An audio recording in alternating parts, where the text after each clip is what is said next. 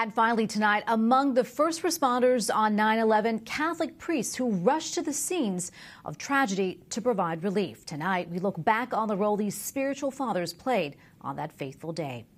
Correspondent Mark Irons joins us now. Mark. Tracy, I spoke to two priests who were Navy chaplains at the time. The stories of priests aren't often told when we reflect back on 9 11, but what they provided was invaluable. Unforgettable images from September 11, 2001 have been seared into our memory. If you look closely among some of the chaotic snapshots, you can find a sign of hope. Near the World Trade Center, a priest ministering to people amid a field of debris. And as the Pentagon burns in the background, a priest prays on his knees, providing words of comfort. God is with you, even in this tragedy.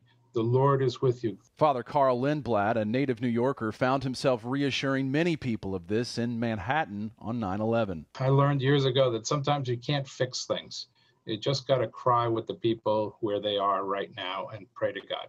An active duty Navy chaplain at the time, Father Carl stayed near Ground Zero for nine days, providing spiritual nourishment.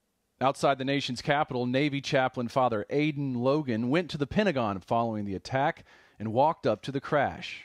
That's when it really struck me how violent this uh, explosion was. He says his Roman collar was a welcome sight for many. Everyone seemed to be glad to see me, you know, and even if we just exchanged a few words, and they, uh, you know, to a man or woman, they asked me to pray for them. And one image helps Father Aidan remember no matter what, God is always with us. And that's why we look at the crucifix, you know, and see, you know, that's that's the suffering of all mankind. Another priest I spoke with said he still finds it difficult to recount the experiences he had on 9 11, but they all agree that day 19 years ago marked a profound moment in their priesthood. Tracy? Mark, thank you so much for that story. Correspondent Mark Irons reporting for us tonight.